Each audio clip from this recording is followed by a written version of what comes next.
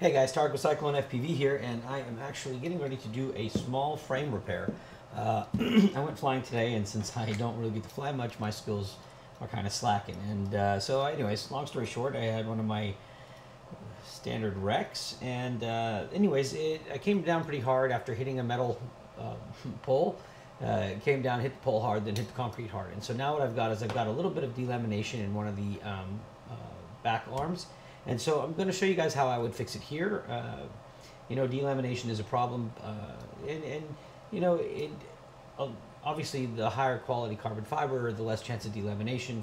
But at the same time, when you slam it as hard as I do, just because I'm not very good at flying, um, you know, you, you hit it at certain angles and you can actually just start delamination even if you've got awesome carbon fiber. So I'm going to show you what I've done here, or I'm going to do it actually here, and you're going to see the end result. And it's pretty cheap quick fix to so that you don't have to be uh, grounded for a while, right? So let me switch camera angles here and uh, see if I can make this work.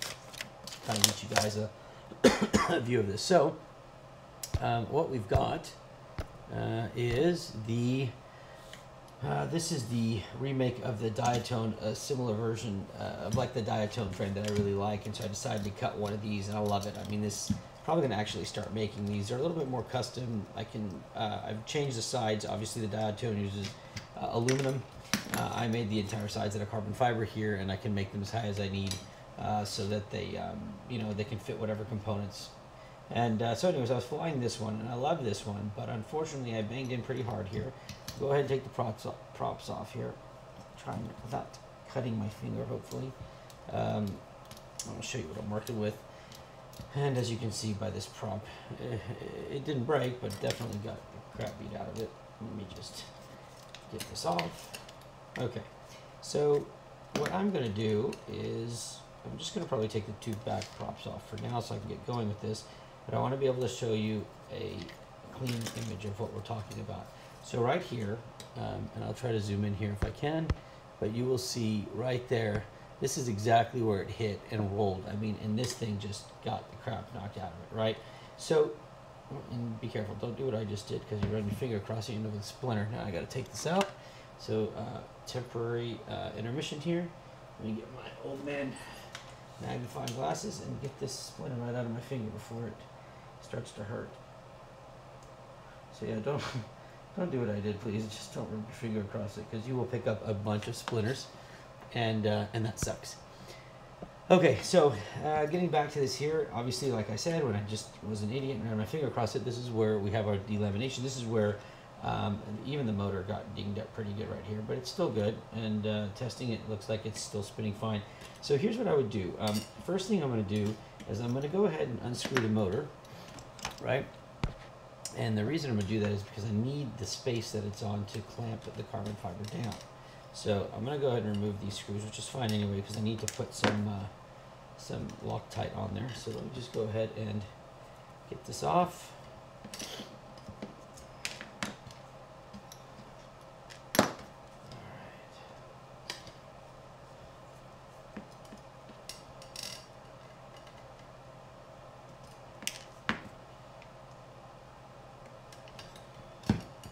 Okay, now um, now that the screws are off, put those away. Pull this motor up. Get the zip tie out of here. Okay, I'm just going to leave the, uh, the motor folded like that. Now, I am going to go ahead and I'm going to use this. Um, it's a uh, Bob Smith Industries. Uh, it's just a brand. I like it. It's called Maxi-Cure, and it is the really fast, fast, fast quick drying with the um, accelerator uh, spray, uh, super glue, right? And this is, it's really awesome. Uh, so we're going to use that, and what you're going to need is, what I've got here is a set of DeWalt, um, you know, those little clamp things that you just, whatever the home builder people call them, or Home Depot people call them, but anyways, they're just gripper things, whatever you call them. Um, and I'm going to use that here, but I need to make sure I clamp this down real good. So what I want to do before, I'm not going to sand anything right now, right? Because I want to leave as much of this as I can. And I'm just going to go in here and really just get this all kind of in there. But I'm going to try my best to make sure I don't get too much of it on the surface because I don't want my clamps to get stuck on this thing. Although uh, I will be able to take it off. Um, you want to kind of get it in there. Just sorry, I don't know if I took that off camera, but you kind of just want to get in there and cover it. So you're going to see right here, uh, I've got all the super glue, uh, the quick drying super glue kind of pressed or uh, layered right in there, right? And so now I'm going to try to get these clamps on here, but not. I'm going to try not to get them stuck on the super glue, but I need to clamp this down as hard as I can to try to bring the layers together, right? Just like that, okay? Now, there's a good chance this is going to stick, but I can take these pieces off. So anyways, once you get that clamp down, you can see now it looks pretty good. I mean, once you clamp that back down, that's in there pretty good. So now what I'm doing is I'm just going to go ahead and spray it. And that's it. Uh, super glue is now dry. Uh, it just takes a few seconds of that, and hopefully, if I can wiggle this off, I can, and you know what, I need to just go ahead and try to clamp it a little bit more because whatever super glue is in that crack that did not get the quick dry, I have a chance of still squeezing that down there. So let me go ahead. By the way, that beeping is my batteries being charged for tomorrow's flight. Okay, so we've got everything drying, um, and it's been sprayed. Just make sure I cover it good again. Um, but now what you want to do is, you still have to sand the parts, right? Because you don't want to get splinters on there. So what we're going to do is we're going to let this sit for just a little bit. And I'm going to touch up a couple other areas where I pounded in pretty good. These really aren't that big of a deal. Um, but I will still put the super glue on there just to make sure that I hold it pretty good uh, in case there is the start of something. Now this one didn't get any damage at all. Okay, so um, that's that. Arm is now put together well. Um, the super glue is dried. Tops are back on, and so now what we're going to do is we're going to go ahead and get this kind of sanded, right? Now I'm going to do this with a nail file, um, but uh, I also have a sander I could do this with, but we're talking about these are the kind of things you can take with you in your bag when you go fly. You're not going to have a sander with you, so just take like a, you know, a, a nail file is the best thing to start with in my opinion because it's got pretty good control over it. It's easy to hold. Um, and yes, for anybody making wisecracks, my joke, my wife always asks me if I'll do her nails now because I apparently have a good skill at this.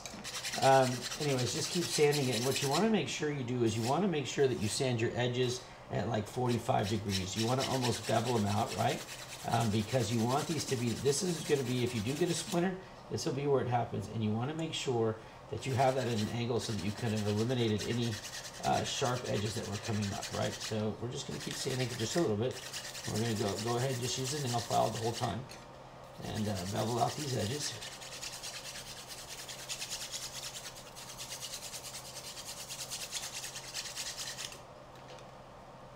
Okay. We get just a little bit more.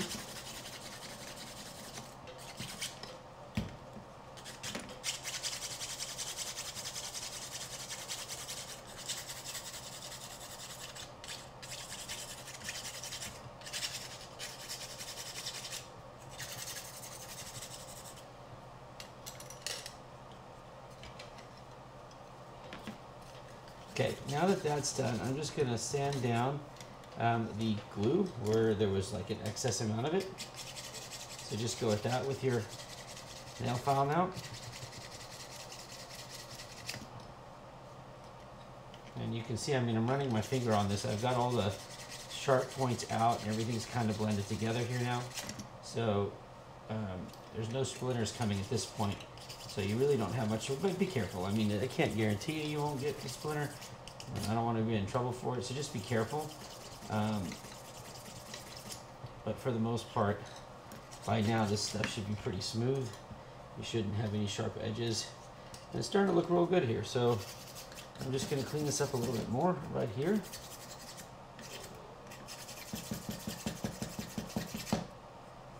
Okay, it looks good. All right, now, um, at this point, I would take like a, this is a 2000 grit that I've cut down, and I'm just gonna go at it, just nice, fine, uh, uh, last, last bit, you know, of sanding. Um, and I wanna get this kind of white look on it. So I'm gonna go around it real quick. And I still got a little bit of raised super glue here. So I'm just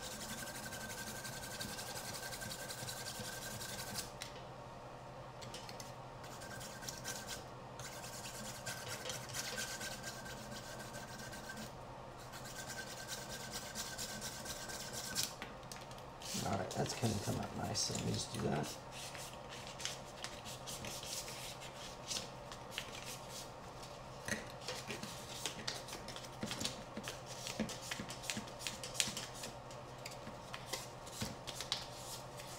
Make sure to sand even with this grit. Make sure to just go around the edge. Okay, at that 45 degree style, you know, you can just kind of come down at 45 degrees, whatever you want to do, you want to make that as smooth and rounded as possible. And that way you can ensure that you do not have any uh, splinters or splintered pieces coming out, right? Okay, so with that done, um, it's going to have this white haze to it, right? And so now what I'll do, and you want to make sure you obviously wear a mask if you have one in round. Some people will, some people won't, but main thing is make sure that you keep your hands clean. If you do get carbon fiber on them, uh, make sure to clean them very well. Uh, I keep these alcohol pads um, uh, handy for when I do carbon fiber work. Uh, these are medical grade. Um, you're not supposed to be touching with your hands. I guess some can dry your skin out. It does do that, so you got to be careful. But I, I uh, used to do work at a doctor's office, and they had these all the time, and I liked them. So I use them. Uh, very good stuff. Anyways, um, now what you're going to want to do is you're going to want to go around the arm. And here's one good thing about these. If there is a splinter spot or a snag, these will catch onto it real quickly, all right? And they will leave some fiber behind. So um, you'll be able to feel it. And right there, I can feel like right here, I can I can feel you see and I don't know if you can see that but there's a little bit of fiber. Let me see if I can get this camera to zoom in. So yeah you can barely see it but there is this fiber right here you see? That tells me that right here and you can feel I can feel it now when I run my finger over it and if I if I zoom in you might be able to see that. Yep. So it is right here. There is and if you take this razor blade you'll see it's like it hits right here, right? So we have some sanding to do right there. And that's why I use these cloths because I like the way they shred uh, or at least give these tells away. So I'm gonna go ahead and just kind of quickly sand and try to blend that in. And now, still a little bit left. Take a little bit more and then I'm gonna use the 2000 grit and that ought to take care of it as well. Let me do that. That looks good. Seems to feel good. And now when I run uh, when I run the cloth over it I do not have anything. Well I have a little bit right here. Let me see. The other spot's good but I seem to have almost pushed everything to this one spot. So let's see. Okay. Running it down We take the thing here.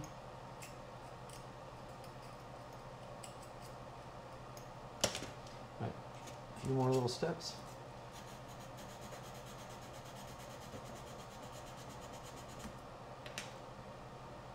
Okay, some 2000.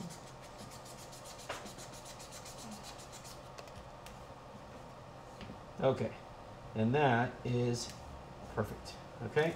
So now, when we rub this cloth across and clean off this arm, sorry, I need to zoom out, I'm sure.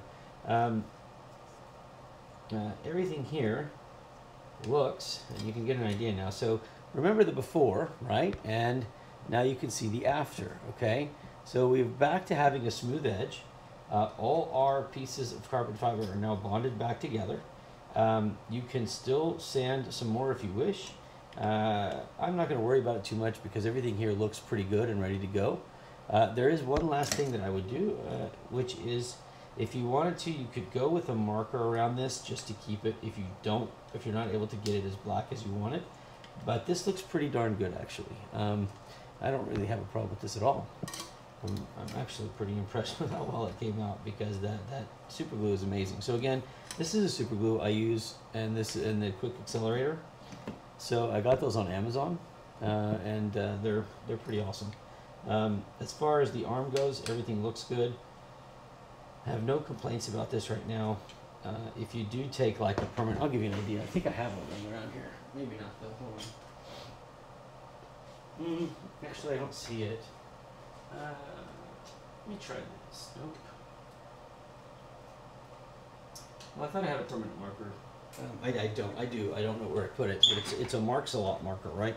Those are the kind that I like to use the most, but I don't have one. But I will just kind of go over it with this. So if I use a permanent marker here, and you're barely going to see anything happen because this really stayed super black as it is, but this is a good way to just kind of touch up any scuff marks or anything that you have. You can put a marker on there, um, and then that's it. You can hide any blemishes with that. But there you go. So the arm went from being uh, showing big signs of delamination, uh, and now it. And here I'll switch camera angles. Maybe this will help just a little bit too. So let me see if I can do this.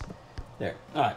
So uh, again, this is the final uh, outcome of this, and uh, I like it. I mean, it's ready to fly. Um, this little bump that I see right here is just a little bit of uh, super glue that um, I'm really not going to worry about it because it's going to kind of give the arm a little bit of protection. I guess it's going to stick a little bit out, but uh, it's definitely it's not the carbon fiber. Just not sanding that down as much because I don't mind that being on there. Um, but uh, overall, it looks really good. Uh, everything has been sealed back up, and now we can get on to the next one. So uh, on this one, which you see right here, we've got almost similar. I'll see if I can get that in closer, so you can see kind of there where there's uh, a little bit of separation right here.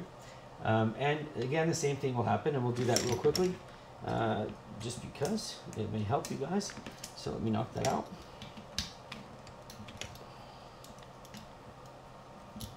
Let me switch angles here. I forgot that I was not on another thing, so let me zoom out. Clean up my bench here. Okay, this prop will come off. This arm is off.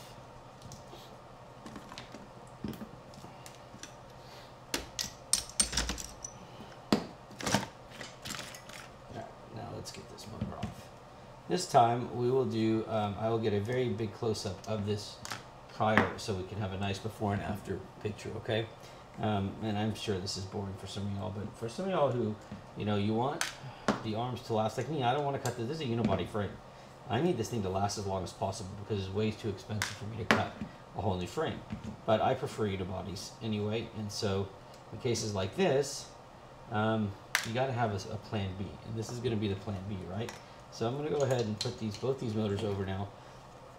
And what we're going to do is we're going to have you guys zoom in on this one, okay? So as you can see, we have a slight uh, splitting of the carbon fiber, right? So right here, okay?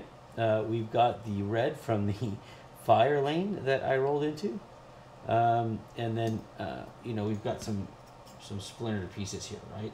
So I can take this knife and kind of go in to the car. I don't know, you can't see that. I can go into the carbon fiber there a little bit. So we want to fix all that, okay? So in this case, what we're going to do is we're going to basically do the same thing. We're going to go ahead, open our super glue. Now, I, I tell you what though, um, I may sand a little bit of this one because I want the red to kind of be removed a little bit. I'm going to take that same sander and just kind of get started on it just a little bit. The reason I say you don't have to do this is it's not, if you haven't sprayed it, you have the chance of uh, pieces of this coming off, right, like the splinters. So just make sure you've got a mask on there, okay? Um, I didn't realize I zoomed in that much. Sorry, but let me zoom out just a little bit. But I still want you guys to be able to see it. So the sanding is the key to a lot of this. Now, I, I would be careful how much you sand because you still want that super glue to get in there. But um, you also want to kind of make it a little bit safer to touch here before you do anything. So you could sand before if you want. I'm just going to do that so I can get a little bit of the red eliminated. All right, I'm going to leave it at that and then just sand the rest later. So here's my super glue again. Uh, where's my cloth? I'm going to go ahead and wipe this out because I don't want to super glue the carbon fiber dust on here. But be careful when you do this that you don't get any splinters, okay? All right, now, here we go. So we're going to go ahead and we have quite a bit of delam delamination here, so we're going to go ahead and just kind of get this across like so. Okay. And that's it. I mean, not much, but you know, and you can use your razor knife or whatever to spread the um, super glue where you want it. I mean, I'm just gonna kind of take this razor knife. This what do you call these little knife? I guess razor knives. Um, and I want to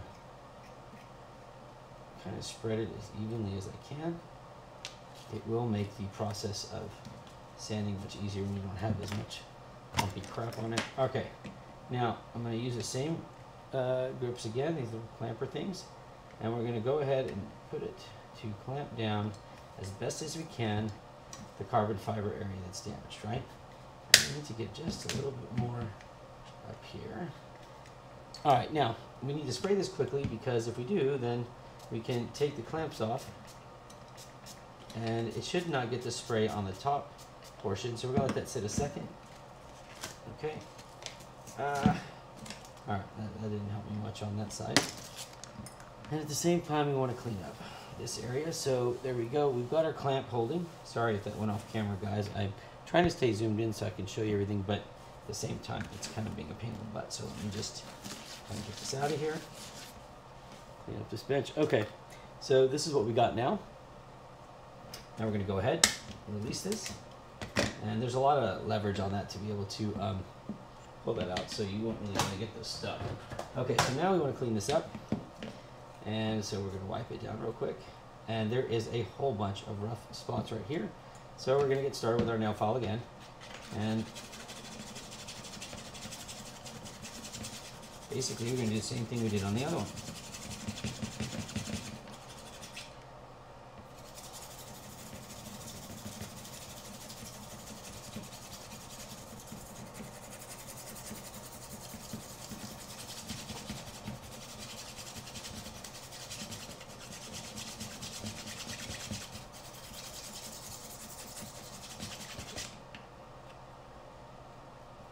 Okay, go ahead on this side now.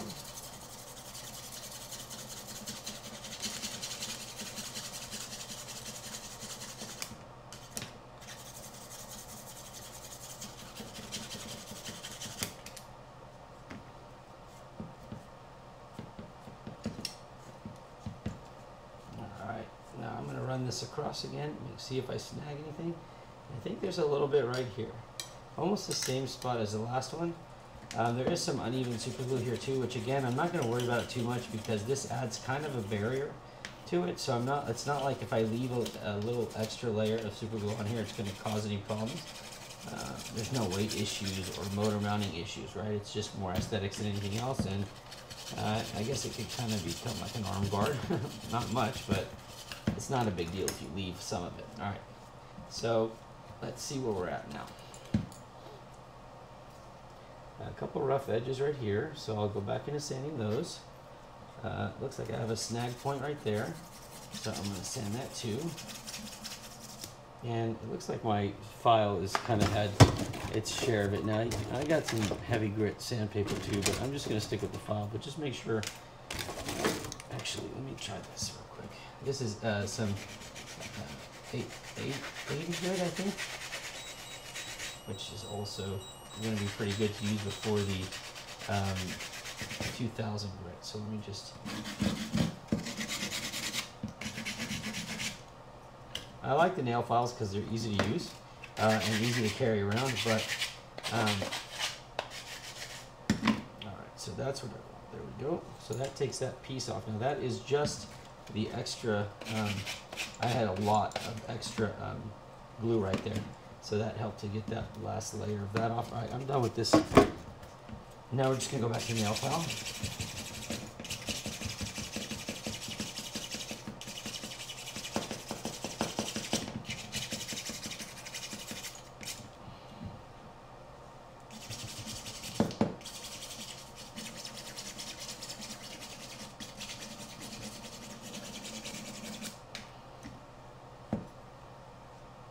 Okay.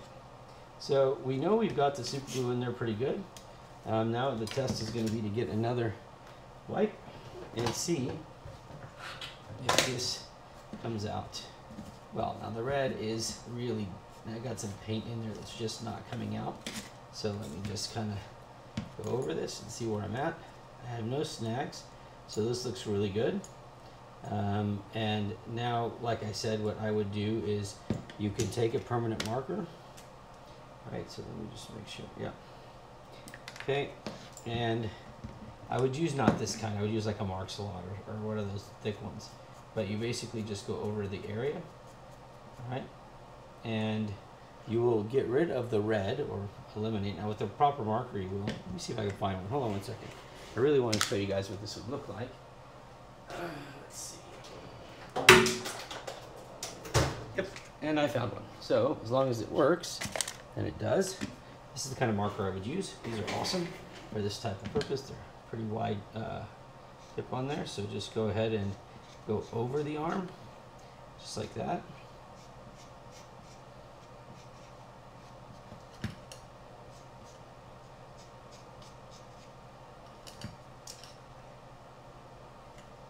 Well, that was the old one. So this is the one we just did. So we'll go over it, let it dry, and then you can uh, put the super glue back on one more time, especially if you feel like if you've sanded down too low. Um, and that's it. So now we'll let that dry for a few seconds, and I will show you the end result. Again, guys, look, I um, should be wearing the glasses when I do this, and you should too. I forgot to grab them because I was really just in a hurry to do this for you guys and show you what it would look like. But now I'm realizing I'm not teaching you with the best method. So um, please go put the glasses on and understand that usually I do too. Um, and I just made a poor choice here not to do that for this video, but I am trying my best not to make those kind of mistakes. All right, so let's look at our end result. Our end result is um, pretty nice and clean uh, arm repair, all right? So we have sanded and pressed all the carbon fiber back together. And uh, it came out looking really good. We have no snags, no splinters. So now we can just take our motors and bolt them back on, which I'm going to do later. I've got to put some Loctite on here. But uh, yeah, I mean, so this is the end result. So let me go back to a bigger picture now. There you go. And so here are the two arms that were delaminated uh, and separated right there, right there, right? And they have been sanded and like I said, you see some excess glue on this one. I'm not going to really sand it off, but if you look, our pieces are pressed back together. Everything looks clean except for, like I said, this area here where I would sand probably a little bit more if I was worried about it. And then this is the second one we just did that had the red on it.